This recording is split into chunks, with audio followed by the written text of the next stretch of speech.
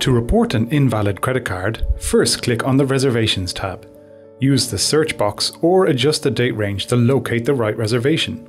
Once you have located the right reservation, click the guest's name or reservation number. Select Mark credit card as invalid on the right hand side of the page and enter the last four digits of the customer's credit card.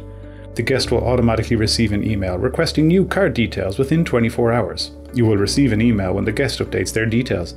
But if you don't receive this within 24 hours, you can cancel the booking on the reservations details page.